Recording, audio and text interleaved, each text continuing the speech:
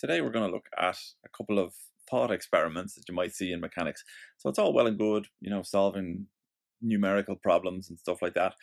But I think, you know, you really start to get a feel for whether you understand physics or not when someone presents you with a problem and you have to think it through without necessarily just using the formulae or using the maths. So here we've got some sort of an, a hill, basically. And what we're saying is we've got a ball that's going to roll down the hill. And we're asking, is the velocity and the acceleration of the ball going to be greater or smaller at both points on the hill? So is is it does the acceleration increase? Does the velocity increase as it rolls down the hill? Now this is a little bit trickier than your average problem because we're dealing with a curved surface here.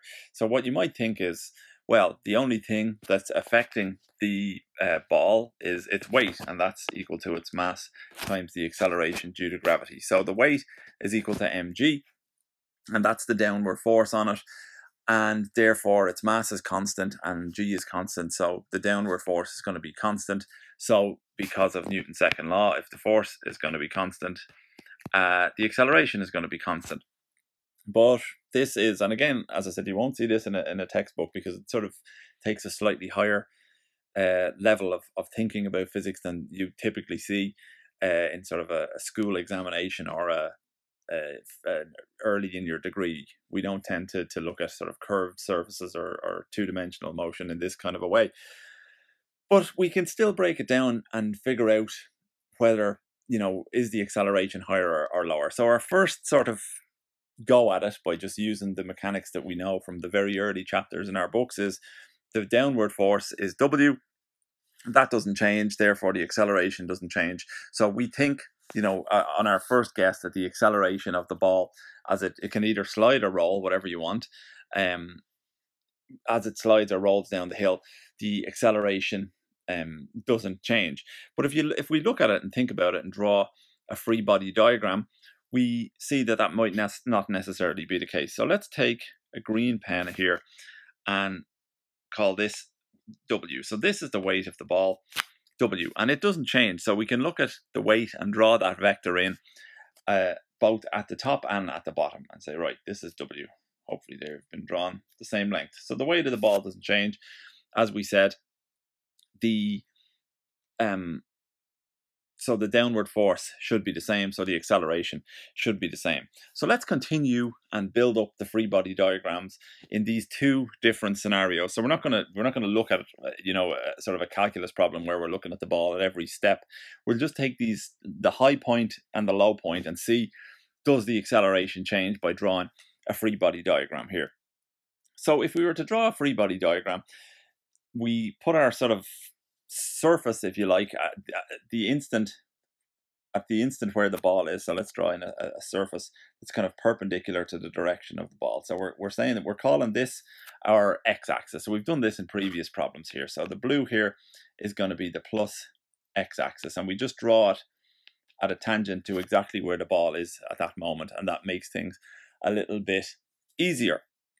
So the question then is what component of the weight is acting perpendicular to that in the y-axis. And we can do that just with simple uh, trigonometry again. So we can draw it in. Let's take, I'm hmm, not sure what, what color, we'll take a yellow here and we'll draw in our triangle. So the component of the weight acting along the y-axis is going to look something like that. So we can break our weight vector into x and y components. So the x and y components are the yellow.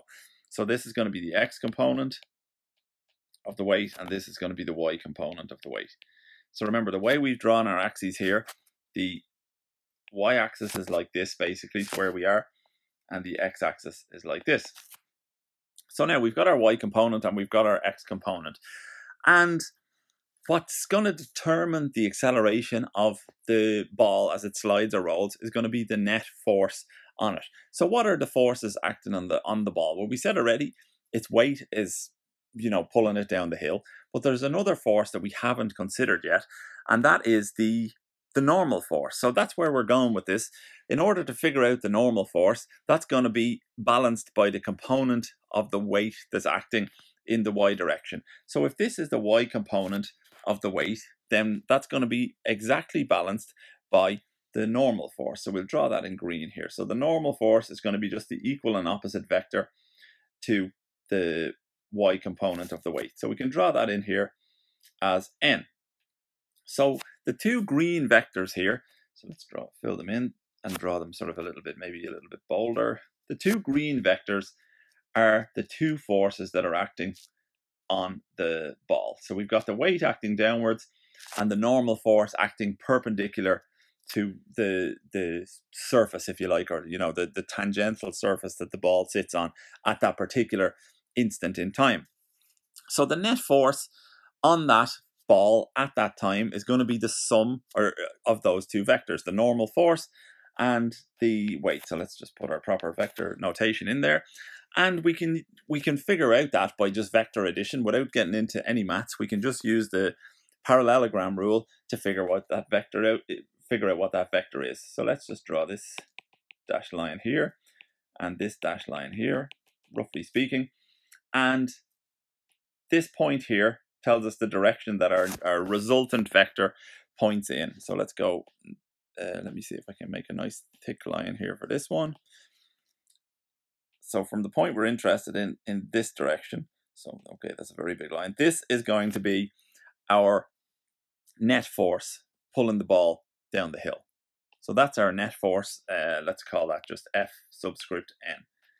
So that's the force that's pulling the ball down the hill. The ball has a certain mass and the combination of the force and mass is going to give us the acceleration of the ball. So the mass doesn't change. So the longer that vector is, the more acceleration the ball has. So the ball has a certain fairly, you know, what looks like a large acceleration at that point. Um, as it rolls down the hill, so it's got a large acceleration. Now let's just do the same graphical analysis at the bottom of the hill and see what that vector looks like. If it's smaller, that's going to have told that's going to tell us that the acceleration is lower because the force is lower. So we can do the same thing again. So we've got the weight. Now our new surface, you know, our tangent to the, the direction of the ball at this instant is here. So this is our new plus x axis for the new position of the ball. So this is our plus x-axis now.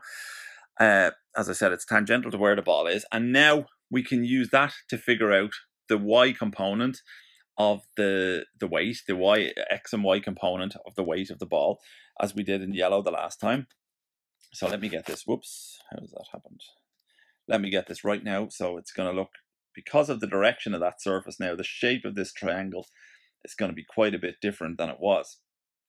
Okay, so now it's going to look like this. So now this is our y component of the weight, and this is our x component of the weight at, at this point on the track when the ball is much further down the track than it was earlier on. So the y component and the x component, you can see that triangle is significantly different looking to the one we drew earlier on.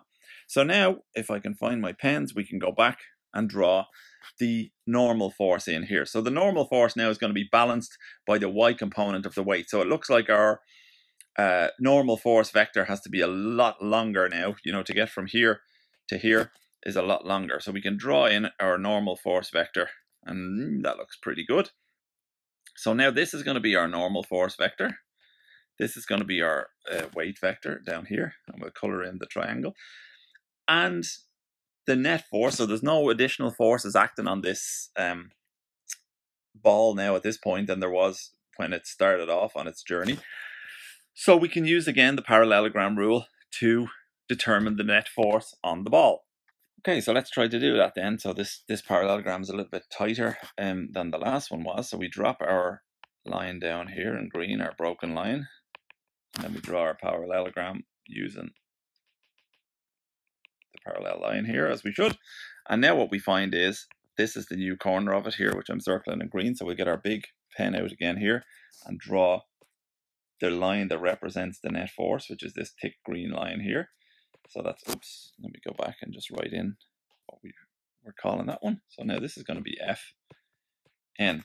So if you take a look at those two lines that we're calling the net force line, so that's this one up here and this one up here, it should be, you know, obvious to you that the one at the, the top of the hill or higher up the hill is much longer than the one at the bottom of the hill. So as I said already, that tells us that the net force on the ball is much higher at the top of the hill than it is at the bottom of the hill, which tell us this tells us that the acceleration is higher at the top of the hill than the bottom of the hill. So this two-dimensional problem, you know, even though we're we're used to gravity just you know the weight being constant so the force being constant so the acceleration being constant.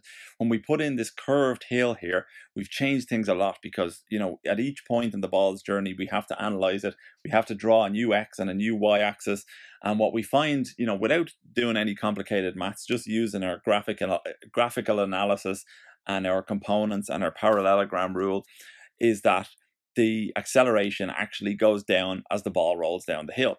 And that, you know, to a certain extent, that makes sense because as the ball rolls down the hill, um, you know, if we draw more of the hill, by the time it gets to, okay, let's scribble this in here.